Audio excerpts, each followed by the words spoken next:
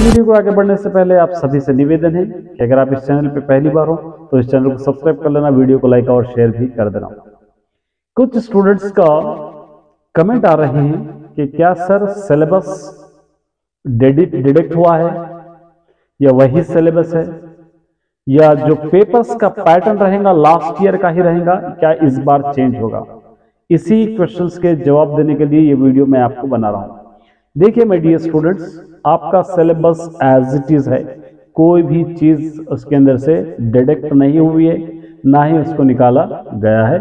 इसलिए 100 percent syllabus आपको prepare होना है, जिसके अंदर कोई दौरा है, नहीं है। पेपर पैटर्न है।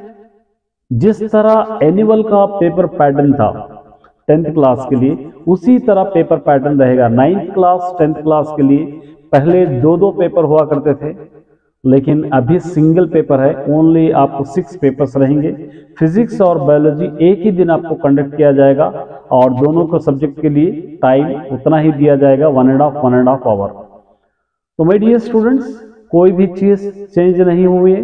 ना एग्ज़ाम्स का पैटर्न चेंज हुआ है, ना एग्ज़ाम्स का सिलेबस चेंज हुआ है। एज इट इज़ सिलेबस है, आपको 100 परसेंट फोकस करना है।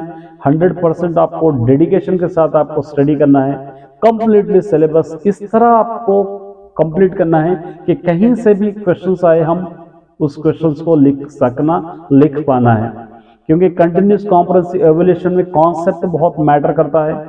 अगर आप लेसन का कॉन्सेप्ट अच्छी तरह समझेंगे लेसन को अगर अच्छी तरह अंडरस्टैंड करेंगे तो उस लेसन से क्वेश्चंस कहीं से भी पूछ दो, आप आसानी से लिख सकते हो। लेकिन बहुत सारे स्टूडेंट बैड लकीली लेसन को अंडरस्टैंड नहीं करते। बहुत ज़्यादा स्कूल्स में एबसेंटिज्म होते हैं। बहुत सारे स्टूडेंट्स फोकस नहीं करते। एग्ज़ाम्स जब पास आते हैं या एफ़ ए हों दो या whether it is S A one whether it is S A two whether it is pre final कोई भी एग्ज़ाम्स हो सिर्फ़ एग्ज़ाम्स के वक्त पढ़ते हैं और वो भी कौन से सब्जेक्ट कौन, कौन से और कहाँ से पढ़ते हैं? अपने वो बुक से या दूसरों के नोट्स लेकर या दूसरों के आंसर्स लेकर पढ़ते हैं, ये बहुत ही बैड हैबिट है। आपको सेल्फ नोट्स होना चाहिए, आपको सेल्फ क्वेश्चंस के आंसर्स देना आना चाहिए, क्योंकि कितने आंसर्स याद करोगे अगर वो बुक से या दूसरों के नोट से याद करोगे? एक लेसन में मिनिमम आप इंग्लिश में लेंगे तो बहुत सारे दस दस बारह बार आंसर्स है फिजिक्स केमिस्ट्री बायोलॉजी उसी तरह सोशल में उसी तरह है।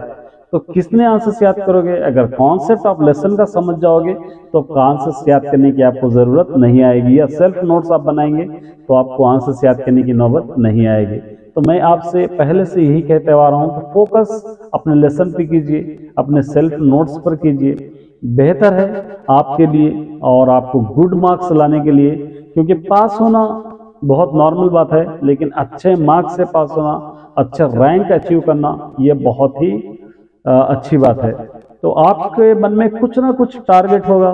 आपके मन में कुछ ना कुछ आपका जीपीए आप माइंडसेट करके रखे होंगे। उस माइंडसेट को पहुँचना है तो आपको मेहनत तो करना पड़ेगा। अब फ़र्स्ट डिवीज़न है या डिसजंक्शन है, आपको नाइन पॉइंट चाहिए नाइन पॉइंट फाइव चाहिए एट पॉइंट चाहिए सेवन पॉइंट चाहिए। अब उस पॉइंट के लिए कितनी स्टडी आपको करना चाहिए? उस पॉइंट्स के लिए कितने आपको लेसेस पढ़ना चाहिए, ये एक प्लान आपके पास होना ज़रूरी है। क्योंकि अगर आप देखिए नाइन पॉइंट्स के लिए आप पढ़ना चाह रहे हैं नाइन पॉइंट्स आप चाहते हैं, लेकिन आपकी स्टडी है फोर पॉइंट फाइव पॉइंट के लिए तो ये आपको एनफ से नहीं होगी। तो उसी हिसाब से आपको स्टडीज़ भी करना होगा।